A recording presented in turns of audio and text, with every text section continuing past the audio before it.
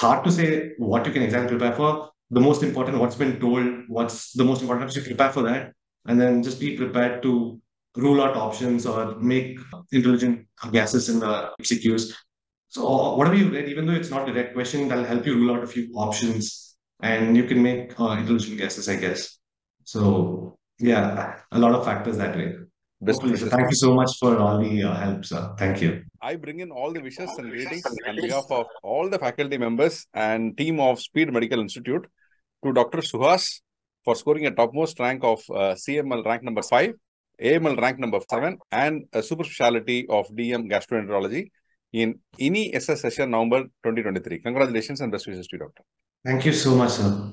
Doctor, can we know a brief background history from where you started till date? Yes, so I did my undergraduation from Ramaiah Medical College, Bangalore, and then I did my post graduation from KMC Manipal, and now I've written this exam. Okay, when did you finish uh, your Manipal PG program? Manipal. I, I, finished. I finished it last year, 2022, so like May or June. Uh, at that point, and then uh, I thought I needed like a five six months break after the course of MD, after the course of MD, and I worked as an SR for a while. And then specifically, I started prep for the last INI also. I wrote, I got a common rank of 11 in a seat. Then I tried to prepare for NEET. And then after that, the one month uh, gap that we had, I said, you know, why not? Let's give this another attempt. so yeah. you started with the last NEET itself, uh, 2022 September NEET?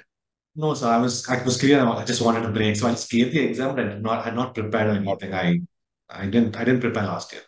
So was the primary exam as a INISS exam or a NEET exam? So when I started, when I decided to take up specialty and I started, the first exam was INI, so that I could give the April session. So I started my uh, preparation proper in March, April for INI. I didn't focus on NEET then, especially for INI I prepared, but I came close. I missed out by a couple of seats, I think. And then I shifted my focus to NEET. I had three months to prepare for NEET. Uh, so it's a different because uh, uh, the pattern is different and you have to read all of the subjects as well.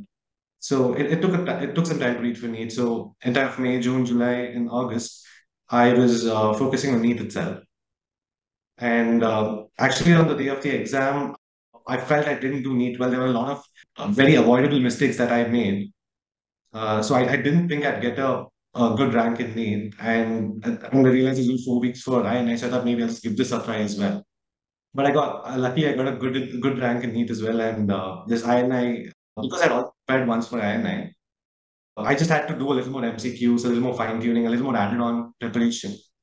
And in the three four weeks, I did that, and uh, I wrote the INI without a lot of stress actually. So I'm, I'm really like I feel very lucky actually, more than uh, excited until like I got this rank, and yeah, definitely happy, sure, but uh, yeah, lucky as well.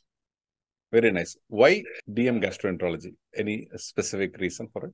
Basically, my thinking was I had to decide whether I wanted something with intervention or without intervention. And uh, my experience through MD, I realized uh, just an OPD and what sort of job is not probably something for me. I would probably get bored at. So I wanted something with intervention. And in terms of intervention, it was cardio, gastro, maybe critical care for a while, maybe a bit of it. I, I worked in critical care and I realized I, I, I didn't like it so much. So uh, between gastro and cardio, again, cardio is such a extreme, intense, uh, emergency-based lifestyle, which I didn't think suited me. So I thought maybe gastro was the way to go for me. And I started reading about gastro, especially when I was preparing for INM and for gastro. I was, I mean, it felt nice to read. It was exciting to read. It was, I, I didn't get but I didn't feel like it was something out of my reach. It was something I liked doing. So yeah, and then and then whatever experience of posting that I had in my MD Med and gastro posting. I liked whatever I saw of it, though it was a bit cut short because of COVID. Whatever I could see of it, I was, I was quite happy and I thought I could see myself being a gastroenterologist. A bit of everything, a bit of medical, a bit of intervention. It had a bit of everything. So, yes, uh, that's it. Great, doctor. Wonderful. And now, can we know what all you did for your preparation to achieve this? Yes, so uh, basically, I mean, the entire, I mean, the base of reading for gastro is Sleisenger, and the entire to read the entire book is quite impossible and maybe even not recommended. I guess it's very difficult to read the entire book.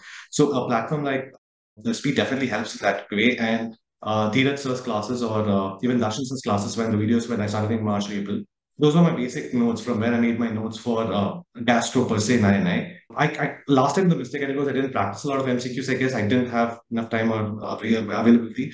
But so for this INI, basically, I already read for uh, the previous INI and I read again the same gastro notes for NEET as well. So I just had to revise my notes in a couple of weeks. Again, the basic notes from got from and I added a lot more revision from like Sleisenger tables uh, from Sleisenger basically, and then added uh, some uh, research articles like the Baveno 7 guidelines or the EASL guidelines, the important points that were there from important topics.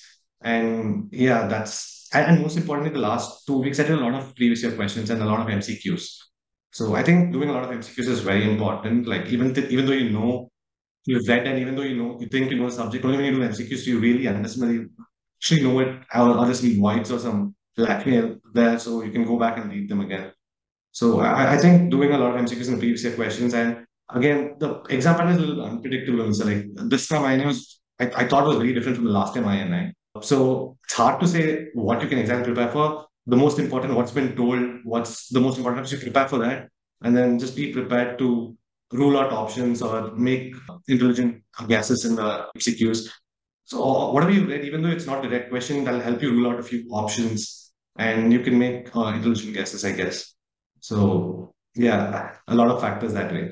Very, very nice and uh, very informative and brief. Great. Yes. Now, uh, can we know what is the message that you want to give to the future aspirants of DM Gastro? I mean, in terms of the branch, I feel it's a very exciting launch to be in. In terms of prep, I think, I mean, at least for me, the typical, I mean, stereotypical way of looking at maybe only people from AIIMS or PGI probably get back into AIIMS or PGI. That sort of idea was there.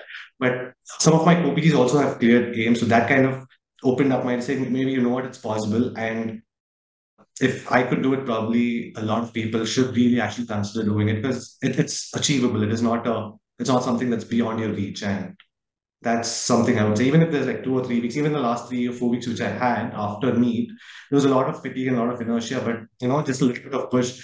And even after NEET, there was a lot of fatigue and uh, a lot of uh, inertia to again restart. But then you just make that effort and you start. Maybe two, three weeks also helped even though there were some distractions in between everything else, just focusing on the last couple of weeks with a lot of MCQs and just revising notes. I think the revision of notes is most important because you can only retain so much with one time reading. It's only a couple more times reading of the same thing and will help me. I had to, I mean, I was fortunate enough that I got of, uh, of the last six months. So I could, and I prepared it again for NEET and again for this and again. So that kind of helped, I guess. So one, believing that it's possible for anybody to get this and two, doing the right prep and just doing the basic stuff and revising should help getting INI, I think. Okay. Now, what is the the time to thank and whom all you want to thank? You can use the opportunity to this platform. You can thank all of them who helped you till date. So there are a lot of help that comes directly your way. There's a lot of help that comes indirectly your way. A lot of factors going. So obviously, a lot of faculty members who take out their time put in this efforts to you know concise the information and give you a regular thing and advise you on what you need to do, what you're not not supposed to do. Seniors that help you, some friends that support you. Uh, there are your parents. I mean, like I've had the privilege of just being at home for the last five six months and not work. And I mean, it's a, it's a privilege, and not everybody gets this chance. And I've had that support in that way. So a lot of factors play. A lot of people play a role. My faculty from MD Medicine who've trained me well enough and you know the friends who've uh, been able to be there. When, when, when you go through a phase of studying alone, it's you, you require that support. So, I mean, there's so many people and it's hard to pick out one people, but a lot of help comes your way to get what or get these results. Great. It's nice interacting with you today morning. And once Thanks. again, I wish you all the best and all the success for a great Thank career so much, uh, in gastroenterology. And you will do great uh, in that specialty and you will be at a service for so a lot of people who want it from yours. Best wishes. Thank you so much for all the uh, help, sir. Thank you. Best wishes to you. Yes.